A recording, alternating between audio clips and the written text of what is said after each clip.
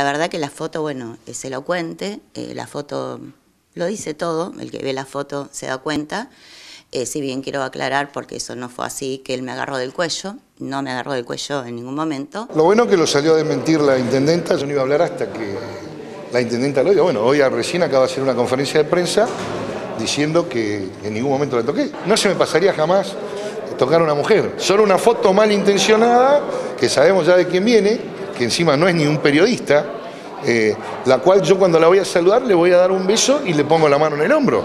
Y está muy bien sacada la foto, el perfil que tiene, que parece, pero si ustedes ven, mi mano en ningún momento está cruzando. Pero sí, el diputado Ingram estaba mm, sacadísimo, estaba muy enojado, eh, porque bueno, nosotros... Eh, habíamos hecho el lanzamiento de la fiesta del langostino 10 eh, minutos antes de las 20.30, que según él era la hora del lanzamiento. Y la verdad que se enojó mucho. Eh, dijo que no lo habíamos dejado subir al escenario, cosa que no fue real. Eh, había dos personas que eran de Chubut, somos todos arriba del escenario.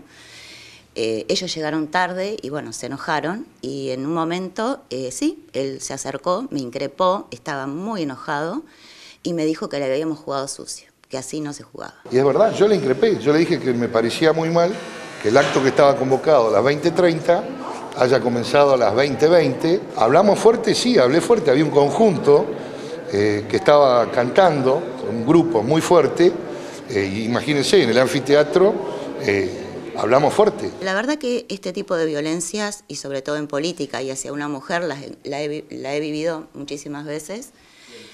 Este, mm, lo de la denuncia lo estoy evaluando, eh, la verdad que sí, lo estoy evaluando con mi familia, lo estamos pensando.